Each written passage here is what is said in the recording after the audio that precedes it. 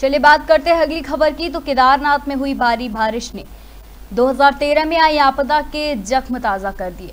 यहाँ पैदल मार्ग पर दो जगह बादल फटने से तबाही मच गई। बादल फटने और भूस्खलन होने से नदी का जलस्तर भी काफ़ी बढ़ गया।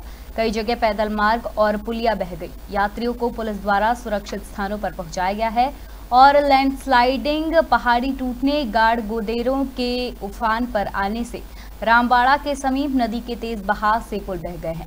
बता दें कि आपदा के चलते श्री केदारनाथ पैदल मार्ग, बड़ी लिंचोली में रेस्क्यू ऑपरेशन चलाया जा रहा है। प्रशासन ने अभी श्रद्धालुओं को आपातकालीन हेलीपैड पर ले जाया जा रहा है। रुद्रप्रयाग से सत्यपाल नेगी की रिपोर्ट।